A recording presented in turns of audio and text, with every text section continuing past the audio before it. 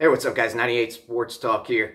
To be doing these over-under win totals for each SEC team, so check those out if you want to. But let's get into this one right here with LSU. And this, it's set at 7.5, which I think is probably pretty accurate, um, you know, for the for the casinos to set. LSU's got a tough schedule this season, and you know, I I'm just I keep looking at it, and I'm just not sure what um, you know what LSU's going to be this year. Obviously, I mean, we still got got to figure out a quarterback, a running game. Um, the defense looks pretty good, but uh, you know I'm just not sure what that offense is going to be this season. So, but anyways, let, us talk about the. Uh, so with that being said, let's talk about what we, you know, what I think their wins and losses might be, and, and at that seven and a half, I'll tell you guys if I think it's going to go over under.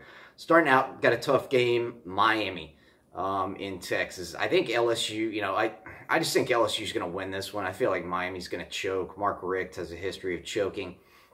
So I'm going to go SEC homer on this one and just say LSU is going to win this one. But I'll be honest, and I mean, this is is probably, you know, a 50-50 game. I, I would favor LSU slightly in the game, maybe like 60% chance to win it, 55, 60% chance to win the game. So it's going to be, it's definitely going to be close, but we'll give, we'll give that one to LSU. Um, next tough game is at Auburn.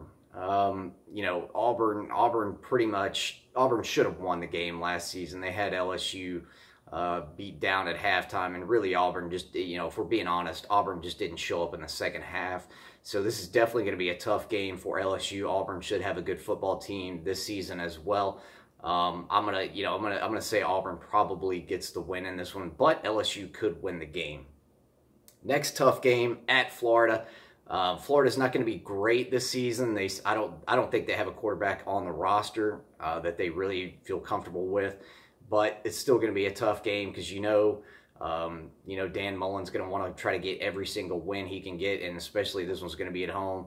And Florida and LSU just don't seem to like each other here recently, so that's going to be a tough one. You know, I, I don't know who's going to win that one. I'll say it's like 50-50. Next one's at home against Georgia. That's probably going to be uh, a night game for LSU. Tough game. Obviously, Georgia's a good football team. Georgia's going to be favored and should win the game, but LSU could win that one, no doubt about it. Uh, next one's at home against Mississippi State. Again, this, this is going to be a tough football game. Mississippi State's got a good uh, good team, lots of talent, but we just don't know what Joe, Joe Moorhead's going to be. So I'm going to say like kind of 50-50 at this point uh, without knowing uh, uh, too much about Miss State. Alabama's next. I'm gonna say that's a that's a loss, along with you know I'm gonna say Georgia's a loss as well for LSU. Um, you know, obviously LSU could beat Bama, could beat Georgia too, but I'm just gonna book those two losses just for argument's sake. And then Arkansas, that should be a slam dunk. Last tough game for LSU is at Texas A&M, and Texas A&M could be playing pretty well by then. It's a home game for A&M. Um, you know, so that's going to be a tough game as well. So you know, LSU schedule's tough. They got A&M's going to be tough, Georgia, Alabama, Mississippi State, Florida, Auburn, and Miami. So all these games, I mean, I, have looked over it, and I'm going to say LSU ends up 8 and 4. Um, so I'm going to take the over on this one. What do you guys think down in the comment section? Let me know. You guys think LSU can be a 9 or 10 win team, or do you think they're going to go below that 7.5? over under total. And if you haven't subbed yet, please do so. Go ahead and smash that sub button. Let's build up the SEC community here. And I'll see you guys in the next video.